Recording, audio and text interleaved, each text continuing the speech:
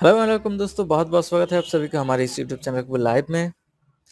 दोस्तों, आज की इस वीडियो में हम देखेंगे बिटकॉइन के कुछ अपडेट्स और साथ ही साथ हम यहाँ पे देखेंगे क्या बिटकॉइन अपना बॉटम जो है वो बना चुका है। या फिर ये जो रैली हमको देखने को मिला, ये एक रिलीफ रैली मान सकते हो एक छोटा सा जो पुल बैक आता है। या फिर यहाँ से मार्केट और भी आगे ग्रो कर सकता है। तो चलिए हम उसी के ऊपर बात करेंगे। और सबसे पहले तो हम बात करेंगे अपने टेलीग्राम अपडेट्स के ऊपर। आप हमारे टेलीग्राम को फॉलो कर सकते हो और यहाँ पे इसका रेगुलर अपडेट ले सकते हो। यहाँ पे देख सकते हो जो हमने यहाँ पे पोस्ट किया था लास्ट 20 तारीख को हमने यहाँ पे पोस्ट किया था, सुबह नौ बजे के आसपास। जो साढ़े नौ बजे का कैंडल था, उसी कैंडल में हमने आप लोगों को अपडेट कर दिया था कि यहाँ पे देख सकते हो लॉन्ग जो है यहाँ पे ओवर हो चुका है। तो यहाँ पे एक्चुअल में हुआ क्या है? लॉन्ग ओवर होने का रीज़न जो आर एस डाइवर्जेंस बन रहा था, वो काफ़ी लंबे समय से बन रहा था। तो उसी के लिए यहाँ पे एक अच्छा वॉल्यूम आता हुआ हमें दिख रहा था।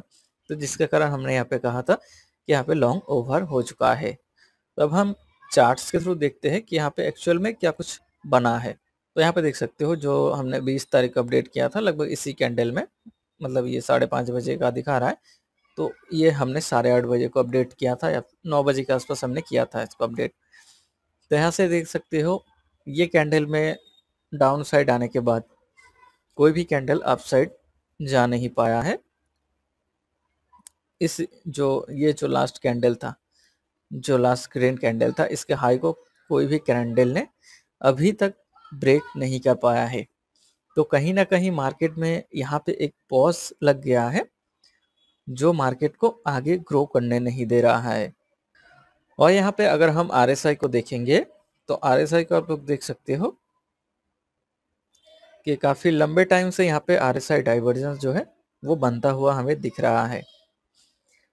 तो अब इसको आप दो तरीके से फॉलो कर सकते हो। इसको आप बुलिश डाइवर्जेंस में भी यूज़ कर सकते हो, लेकिन बुलिश के लिए आपको एक हल्का रिट्रेसमेंट तो ज़रूर चाहिए, क्योंकि मार्केट यहाँ पे अगर आप देखेंगे तो बहुत अच्छा रैली यहाँ पे लिया है। तो यहाँ पे उतना ज़्यादा रिट्रेसमेंट नहीं हुआ है। अगर आप फिबोनाची लेवल्स को देखेंगे तो मार्केट आप देख सकते हो 38 परसेंट का भी रिट्रेसमेंट नहीं लिया है अभी तक। तो ये रिट्रेसमेंट तो ज़रूरी है और अगर आप 61 परसेंट तक भी देखें तो यहाँ तक तो एक हेल्दी रिट्रेसमेंट माना जाता है। तो अगर एक हेल्दी रिट्रेसमेंट भी लेता है तो प्राइस लगभग पच्चीस हज़ार पाँच सौ के आसपास यहाँ पे आ सकता है, जो आने की चांसेस है। लेकिन कब तक आता है, ये हमें ध्यान रखना है, या फिर मार्केट और भी आगे ग्रो करेगा, क्योंकि अगर यहाँ पे ये जो रेजिस्टेंस बढ़ा हुआ है, इसको अगर ब्रेक करता है तो मार्केट डेफिनेटली एक अच्छा मूव ले सकता है ऊपर की तरफ़। साथ ही साथ अगर हम डेली को भी देखेंगे तो डेली में भी देख सकते हो कि मार्केट एकदम 90 डिग्री यहाँ पे मूवमेंट लिया है। तो मार्केट तो एक सरका इसी तरीके से ग्रो नहीं कर सकता है तो मार्केट के लिए एक रिट्रेसमेंट बहुत ही ज़्यादा ज़रूरी है। तो ये रिट्रेसमेंट कब तक लेता है, इसके लिए हम यहाँ पे वेट कर रहे हैं और उसके बाद अगर लॉन्ग करना है तो हम लॉन्ग कर सकते हैं या फिर फिर उसके बाद जो भी कुछ होगा वो आप लोगों के साथ हम टेलीग्राम में शेयर करेंगे। और साथ साथ अगर हम वीकली अपडेट्स को भी देखेंगे तो वीकली में यहाँ पे क्या बता रहा है? तो वीकली में देख सकते हो कि मार्केट कहीं ना कहीं ऊपर की ओर मोमेंटम बना रहा है। यहाँ पे जो लास्ट वीक का कैंडल क्लोज किया है, यहाँ पे एक अच्छा बुलिश शाइन दिख रहा है हमें कि मार्केट कहीं ना कहीं ऊपर की ओर जाने की कोशिश कर रहा है। अब अगर हम यहाँ पे ढूँढने की कोशिश करें क्या मार्केट अपना बॉटम बना चुका है? तो उसके लिए कुछ फंडामेंटल एनालिसिस भी हमको करना पड़ेगा। जिसके लिए हम यहाँ पे कॉइन ग्लास को इस्तेमाल किया है और कॉइन ग्लास का कुछ डेटा जो है, वो आपको काफ़ी बेहतर चीज़ें यहाँ पे बता सकता है। तो हम यहाँ पे सबसे पहले देखेंगे कॉइन ग्लास का टू ईयर का जो मूविंग एवरेज है, वो यहाँ पे क्या साइन बता रहा है। यहाँ पे देख सकते हो लास्ट जब भी मार्केट ने टू ईयर का जो मूविंग एवरेज है, उसके नीचे आया है तो तब तक मार्केट बॉटम बना रहा था। लेकिन जब भी इसको क्रॉस किया है तो मार्केट का बॉटम जो है, वो ओवर हो चुका था। लेकिन अभी तक इस केस में अगर देखा जाए तो मार्केट ने अभी तक इसको क्रॉस ओवर नहीं किया है। तो अभी भी हम यहाँ पे गारंटेड नहीं कह सकते हैं कि मार्केट ने जो है अपना बॉटम बना लिया है। और उसी के साथ साथ अगर हम और भी इंडिकेटर्स को देखेंगे तो हम देखेंगे यहाँ पे और इंडिकेटर्स हमें क्या साइन दे रहा है। तो यहाँ पे देख सकते हो दोस्तों गोल्डन रेशियो मल्टीप्लायर जो इंडिकेटर्स है, यहाँ पे क्या बता रहा है? तो यहाँ पे हम सिर्फ़ और सिर्फ़ देखेंगे 350 डेज़ का मूविंग एवरेज यहाँ पे देख सकते हो। ये 350 डेज़ का मूविंग एवरेज है। तो लगभग अगर हम 350 डेज़ का मूविंग एवरेज को देखेंगे तो लास्ट टाइम यहाँ पे जो बॉटम बना था, वो जैसे ही इसको क्रॉस ओवर किया था तो इसका बॉटम जो है यहाँ पे ओवर हो चुका था। और उसके आगे का भी अगर हम डेटा देखें तो लगभग सेमी कंडीशन बना हुआ था कि इसके ऊपर जब भी क्रॉस किया है, तभी मार्केट ने अपना बॉटम जो है, वो बना चुका था। अगर हम इस बार देखें तो लगभग कुछ ही दिन पहले मार्केट ने ये जो 350 डेज़ का मूविंग एवरेज है, इसको क्रॉस ओवर किया है। तो कहीं ना कहीं ये हल्का सा सेंटिमेंट बनता हुआ दिख रहा है हमें बिटकॉइन में कि मार्केट जो है अपना बॉटम ऑलरेडी बना चुका है। लेकिन कुछ और इंडिकेटर्स जो है हमें यहाँ पे मिक्स करना है ताकि हम और भी ज़्यादा कंफर्म हो पाए कि मार्केट जो है यहाँ पे अपना बॉटम बना चुका है। क्योंकि उसका जो टू ईयर का मूविंग एवरेज है, वो ये बता रहा है कि अभी तक जो है बॉटम ओवर नहीं हुआ है। और अगर हम और इंडिकेटर्स को देखेंगे, यहाँ पे देख सकते हो पीआई साइकिल ये भी एक अच्छा इंडिकेटर्स आप मान सकते हो। और यहाँ पे भी लगभग एक पॉजिटिव सेंटिमेंट होता हुआ हमें दिख रहा है, जो कि यहाँ पे है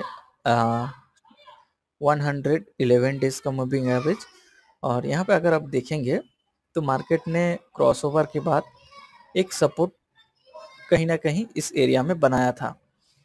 इससे लास्ट भी जब भी क्रॉस किया था तो एक बार सपोर्ट इस एरिया में लिया था। यहाँ पे देख सकते हो, अभी जो यहाँ पे क्रॉस ओवर किया है तो कहीं ना कहीं यहाँ पे एक बार सपोर्ट तो लिया है, लेकिन पहले जैसा कि क्रॉस ओवर करके फिर दोबारा से यहाँ पे नीचे आया है, उसके ऊपर दोबारा गया है, फिर यहाँ पे कहीं ना कहीं एक बार सपोर्ट लिया है।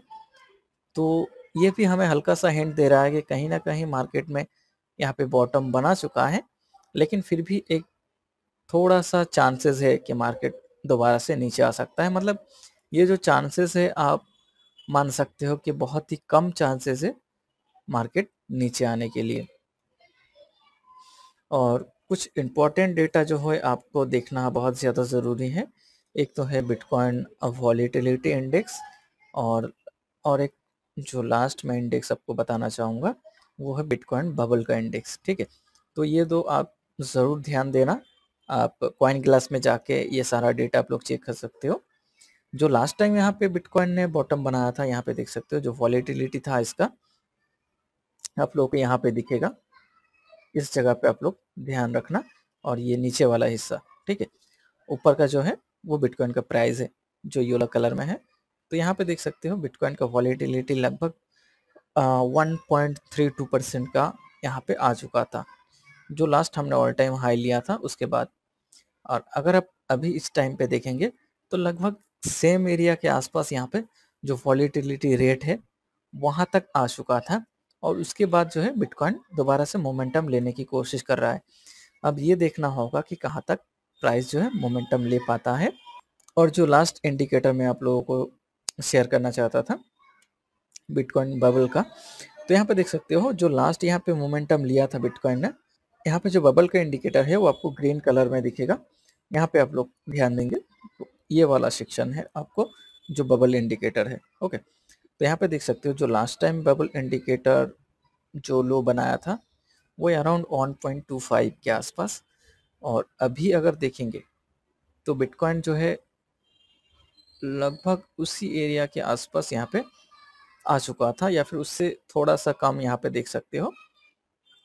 1.09 और उसी हिसाब से अगर देखा जाए तो प्राइस काफ़ी ज़्यादा हाई यहाँ पे बता रहा है। तो यहाँ पे कहीं ना कहीं थोड़ा बहुत आ, लग रहा है कि बिटकॉइन ने अपना बॉटम जो है बना चुका है जो कि मैक्सिमम इंडिकेटर्स जो है ये शो कर रहा है। और इसके साथ-साथ आपका भी क्या व्यू पॉइंट है वो ज़रूर हमें वीडियो के कमेंट बॉक्स में बताइएगा।